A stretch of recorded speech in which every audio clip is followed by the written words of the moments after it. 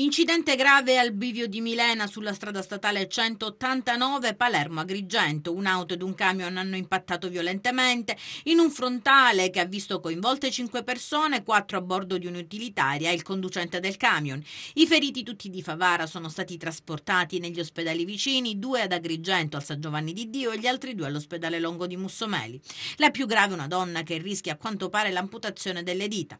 Sul posto sono intervenuti i carabinieri della compagnia di Mussomeli e di vigili del fuoco. I feriti sono stati accompagnati dalle ambulanze del 118.